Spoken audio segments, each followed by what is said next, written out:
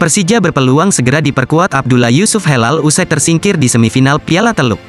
Kabar gembira bagi pendukung Persija. Macan Kemayoran bakal segera diperkuat sang striker, Abdullah Yusuf Helal. Abdullah Yusuf Helal sebelumnya absen dalam dua laga penting Persija pasca libur kompetisi Liga 1 2022-2023. Ia belum bisa memperkuat Persija lantaran masih dibutuhkan timnas Bahrain di Piala Teluk. Akan tetapi, Yusuf Helal dipastikan akan segera merapat ke Indonesia dalam waktu terdekat.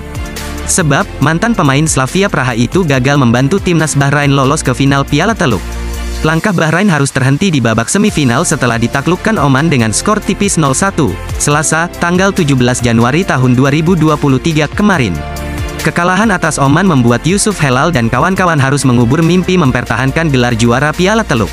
Di sisi lain, kegagalan tersebut menjadi keuntungan bagi Persija yang bakal kembali mendapat servis Yusuf Helal. Apalagi lini serang Persija saat ini masih menjadi sorotan karena kehilangan beberapa pemain. Macan Kemayoran menjadi tim kurang produktif dari enam besar klasemen dengan hanya mengemas 23 gol dari 18 laga.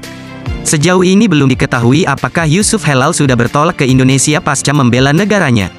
Terdekat, Persija dijadwalkan melawan Persis Solo dalam lanjutan Liga 1 2022-2023 di Stadion Maguwo Harjo, Sleman, Kamis, tanggal 19 Januari tahun 2022.